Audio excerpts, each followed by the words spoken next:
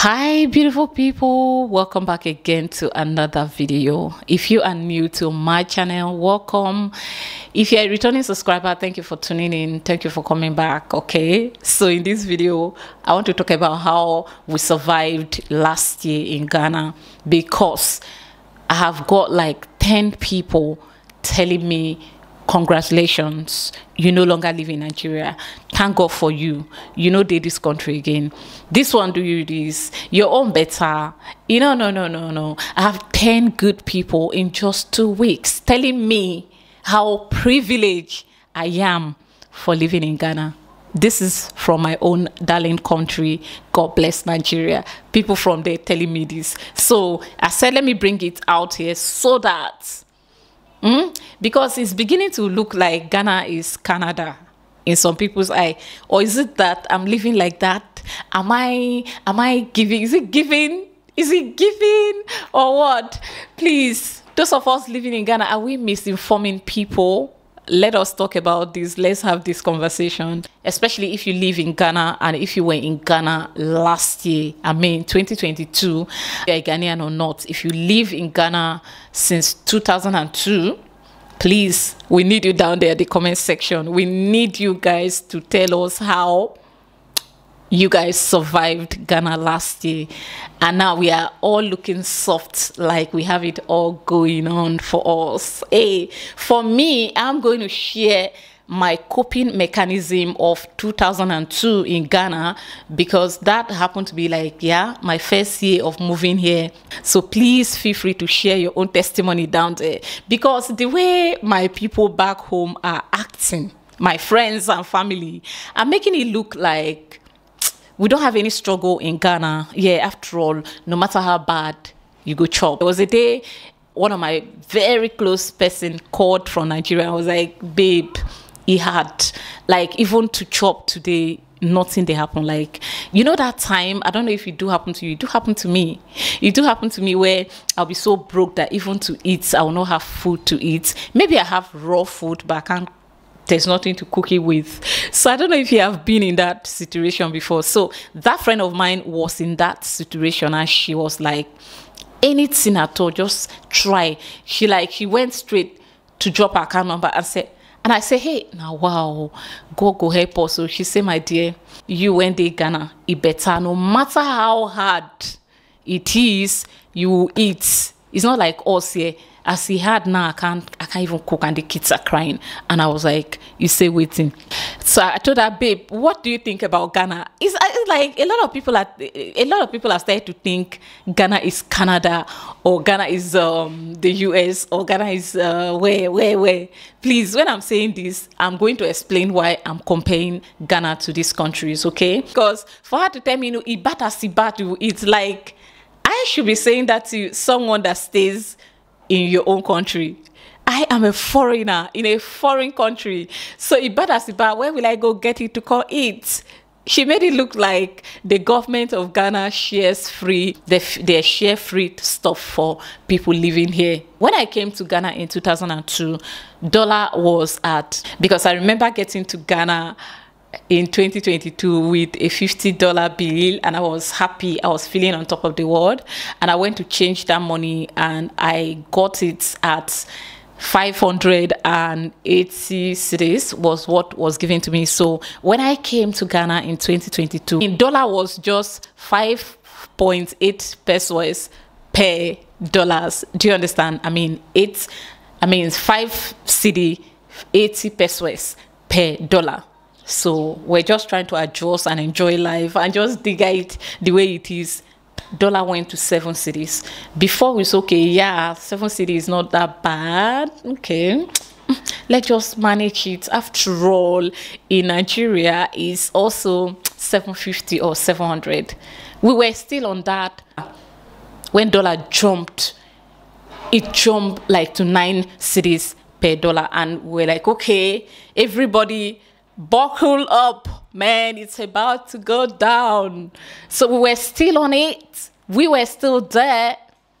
The following day, like this thing is happening like every minute.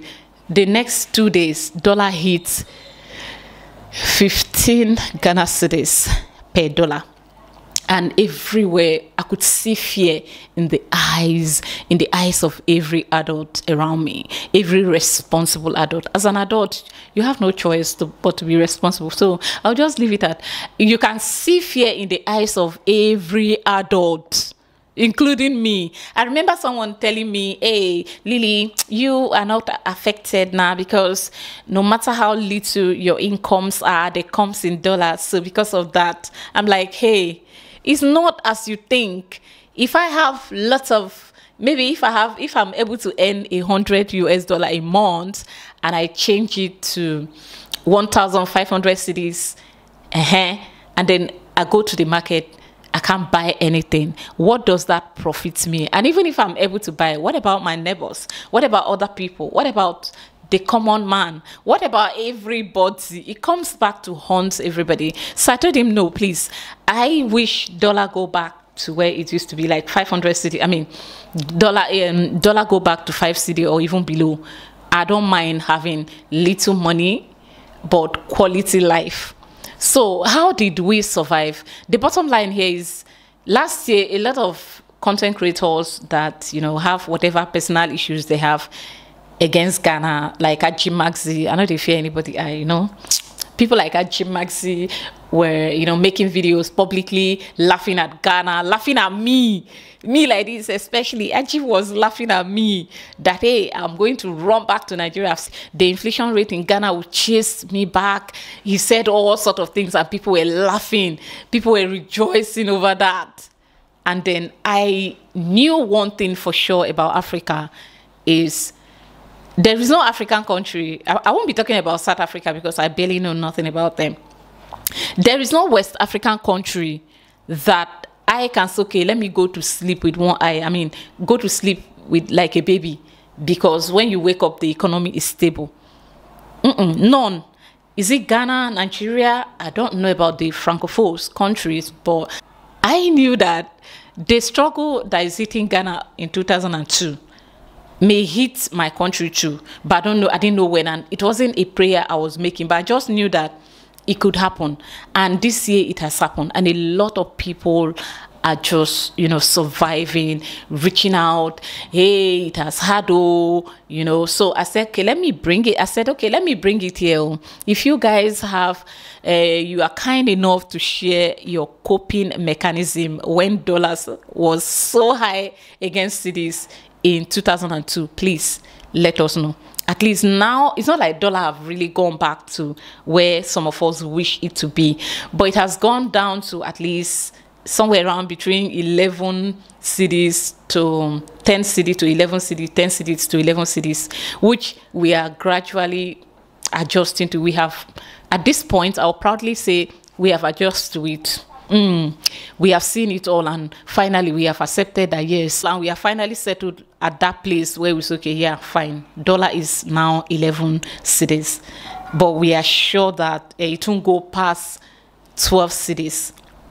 Unlike that time where it went on to to it went up to 15 cedis. So right now, Nigeria is in that place where you wake up, the uncertainty on here, the uncertainty is just so much. You wake up today, dollar is gone past a thousand naira.